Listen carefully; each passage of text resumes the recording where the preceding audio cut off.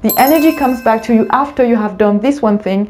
It takes time and energy and focus when you do it at the beginning, when you work on it. Don't even expect an income. You work for free and you work by yourself for yourself, right? But after that, hopefully for your entire life and more is something that today anyone can do. We were sharing, um, i have nothing to hide, so we just share 50 50 uh, in terms of commission and in, in terms of revenue. You can go off grid for a month, three months, a year, it doesn't matter. But if you create a you can't do that.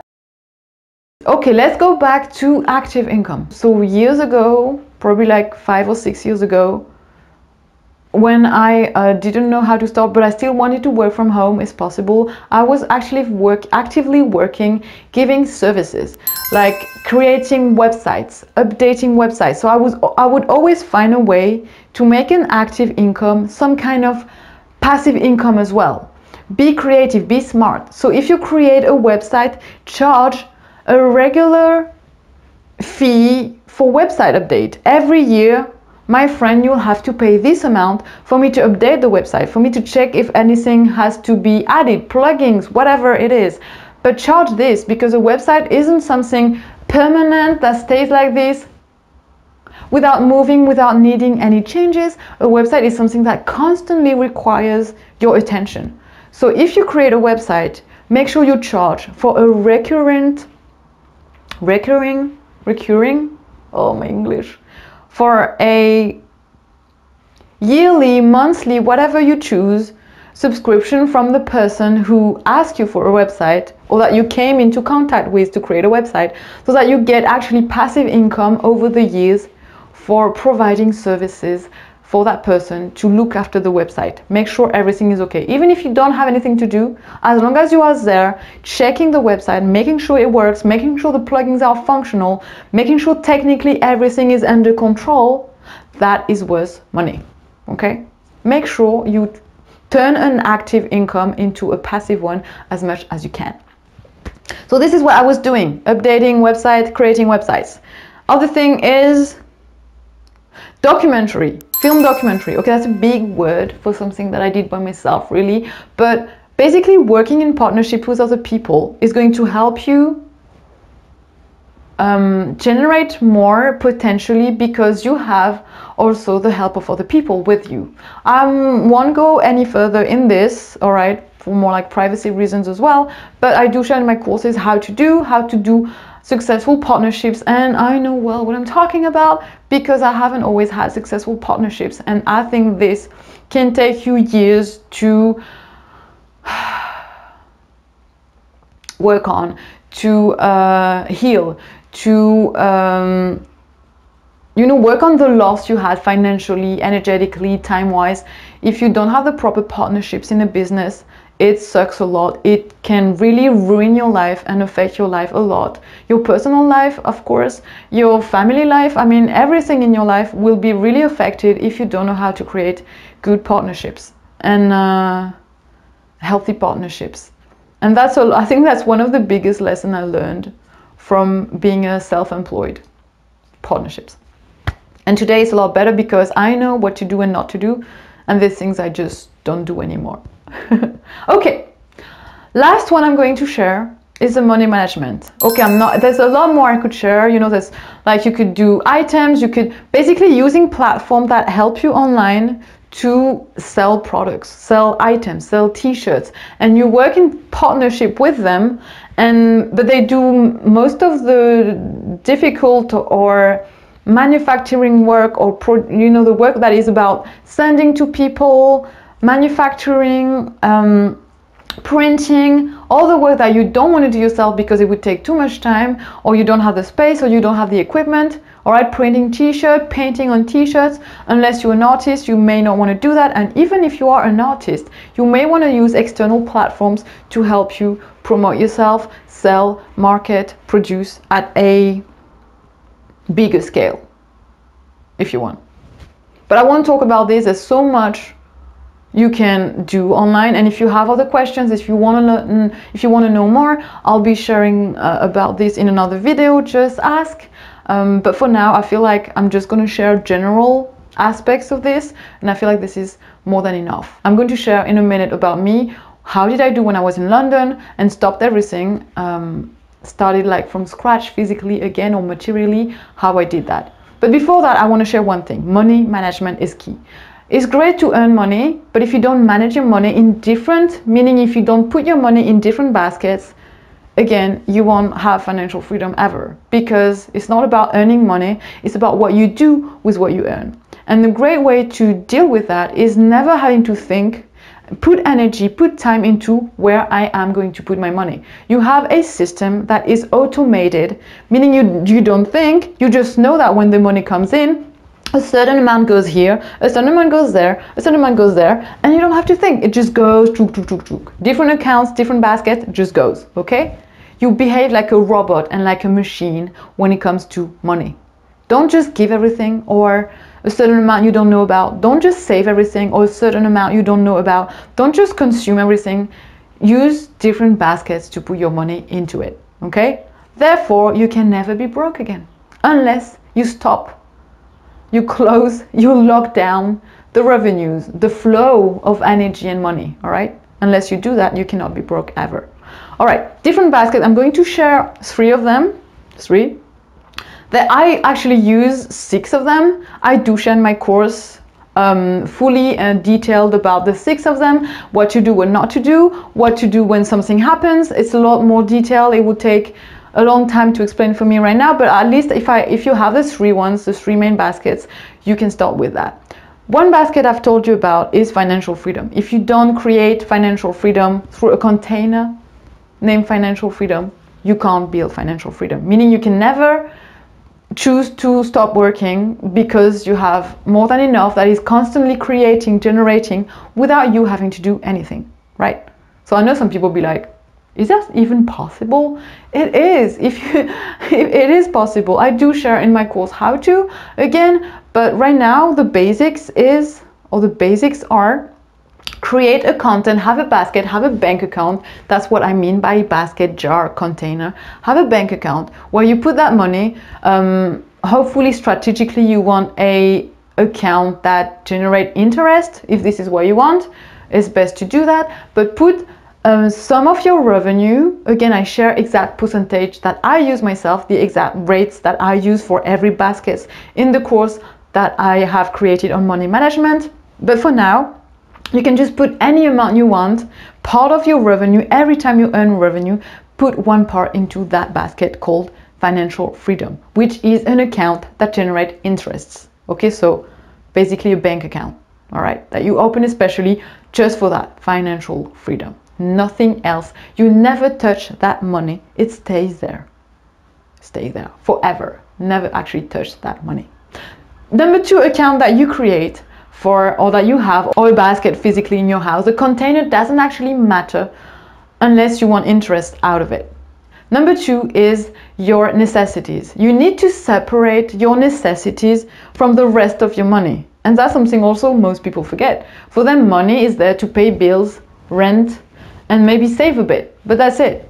That's it. So wrong from, I mean, wrong in a way that is so the complete opposite of energy, the complete opposite of living on energy, of generating energy, because then you work as if that energy of money is only temporary, is only there for hardship, or is only there for things that you need, but not for things that you want or things that you build long term. Again, energy should be long term. Energy work should bring you benefits long term. Energy work should bring you benefits long term, fruits long term, and not just temporarily to fix things temporarily, right? Just like when you do exercise and you do work out, you're not fixing your body temporarily. You want that energy flow and that greatness and those healthy benefits long term in your life. Therefore, you build accordingly. Same for money, because money is energy. You have to behave the same with money as you would behave with your own body. Think long term. Think health more and more. Think freedom more and more. Therefore, build it in the present, every moment. So, basket number two is your necessities. Separate them from the rest of your money, which I will talk about. So separate them, especially from financial freedom. Necessities are there for rent, bills, and shouldn't exceed 50% of your revenue. That's a big one. People usually use a lot more than 50% of their revenues to pay for necessities. I'm telling you, if you pay if you use more than 50% of your revenue to pay for necessities, you are in a bad situation. You are in a situation where you lose energy and you don't actually build wealth, energy long term. Uh-uh, no. And you actually spend more than you can your capacity to earn and generate energy in the form of money. Basically, you consume more than you produce. And that is really dangerous, especially on the path of energy work, especially on the path of living on energy. You want to produce more than you consume. Okay, so necessities, rent, bills, anything you pay on a regular basis that is survival needs, right? What we call like this in our human world shouldn't exceed 50% of your revenues and should be um, a separate basket, separate from financial freedom and all the other baskets that exist and that should be there for you to build more energy and live on energy more. And the third one I'm going to share is a basket of giving. Of course, most people know giving is receiving, but I do have to mention some people, like just like I was, give a lot more than they should give or give less than they should give. And I'm going to share the rate or the percentage that I use for safety reasons, um, unless you are super rich like millionaire or multimillionaire then maybe the rate is different for you but for anyone who isn't a millionaire i would say um, a good rate is 10% give 10% of your revenue every time you earn something every time you earn money give 10% to other people to a charity to other organization like financially. Not don't buy food and give it away. Don't buy clothes and give away. Don't buy things and give them away thinking that you're afraid of how your money is going to be used. There's no point being afraid. Again if you are into fear fear is the opposite of love. So 10% is a third basket. 10% for the giving the basket of giving to again whoever you want whatever you want. Every time you earn money. At least if you have those three at least you're guaranteed you have you're building your financial freedom long term. You you know you're not exceeding your uh, level of um, your lifestyle isn't exceeding your capacity to earn money like you're not spending more than you should because you have your necessities to 50% of your revenue maximum and you know that you're giving therefore receiving in a constant flow of you know of giving and receiving of healthy um, flow of energy basically because if you don't give the, the truth is and the rule is we can never receive as long as we don't give. No we can receive as long as we give. The money is one thing but also giving in terms of time and energy creation all of these things. Okay? These are the three baskets that we should all have at least to maintain healthy living and to be able to live on energy more, meaning having so much energy and so much joy that you can have more capacities and more possibilities in your life. And this is really what you want. More health, more beauty, if this is what you want, more joy, um, sleep less, have less needs, and more um, space for other things that are like extraordinary. Right, and when it comes to the conclusion of my own story, when I moved to London, um, how did I do? Because I started from scratch. Well, I started working back on having an active income.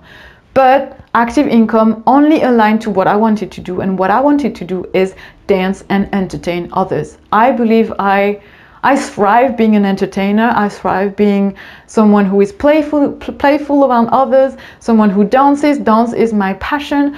Um, I like dancing a lot. Not just that, but dancing was something I wanted to do. And so I found a way to generate money through dancing, through my passion. And therefore, I worked doing events and I worked in clubs as well in London, as I've been sharing in previous videos. And that allowed me to create a revenue and um, a good amount of money that allow me to then find places and um, that I was renting through Airbnb first and then through private landlords like the place I have today. And at the beginning, I was only renting temporarily because I couldn't rent long term because I didn't have a plan on, on how I would do and how I would figure things out. And by the time I was also, also working actively, growing myself to talking to new people, opening myself up to a new kind of world and environment in terms of people, that's something you also want to do. Don't just talk to the same group of people, to the same community. If you're religious, don't just talk to religious people. Open yourself up to other types of people uh, if you're spiritual, don't just talk to spiritual people. Open yourself up to other types of people who aren't spiritual, don't believe in that. And that is going to make you grow and think differently and change your mindset to a one that is more free and unlimited. This is very, very key. On this path, living on energy more, you should just love everyone and enjoy everyone's presence because everyone has a talent, everyone has something to offer, everyone has something to teach you or you have to like you can learn from anyone basically. A kid grown up uh, the, the the granny over there someone who doesn't know anything about what you do someone who doesn't know anything about health someone who maybe knows a lot about physics and you don't know anything about that but learning through others is one of the best way to learn really. Really really. Like physical communication, direct contact. So um, after two months of this direct contact through working in events and dancing, my mindset was so changed compared to who I used to be in terms of I could have a lot healthier relationships, uh, including business ones, and therefore working was just easier. I made peace with previous partners. I wasn't so much in peace with. I was able to create courses again in the way I was aligned with. Um, more organized, um, more grounded, I guess, as well, because I knew people's needs a lot better. Because when you talk to people, you actually understand people a lot more. Therefore, you can create value for them. Therefore, you can serve them and serve their needs or what they want, right? And that helped me a lot. So while I was, uh, again, working on events and dancing, I was creating online courses in partnership with others and also by myself. And I was, um, I put back on the um, books I had published and translated. Put back on meaning like I opened the sales again. So that was putting a revenue back on. What did I do? Oh, and I was exchanging services. Any kind of service, I mean, any kind sounds like, uh. but um, for instance, I do tarot reading, or for instance, I do um, uh, one-on-one personal sessions when it comes to workout. These type of things i would do and i would open myself to do those things. Um, basically doing what i like is what i follow. Following my joy following what gives me energy is what is what allowed me to go back to be living in abundance in abundance in the way that i have a lot more um, money that, than what I need. And I have also, well, through this, I do have to say, through this corona uh, thing happening, just like everyone else self-employed or employed, the government in the UK is giving compensation uh, till this is happening, till this is there. So this is also something that does exist in my life because the companies I was working with doing events and dancing closed down. So yeah, I do have to mention that I have nothing to hide, but although the compensation is less than what I was earning dancing and doing events. But anyway, that does exist at the moment. All right, so just sharing about all of this. Um, it takes time, but the time is the time that it takes is going to be enjoyable because you follow what gives you joy. You follow what gives you energy. You follow that excitement, and it's no longer work. If you can find something that really makes you happy, gives you energy, very, very, very, very key, you will never feel like you're working you will feel like you are giving actually and sharing and connecting. And that is the most uh, wonderful feeling when it comes to generating energy in the form of money. All right.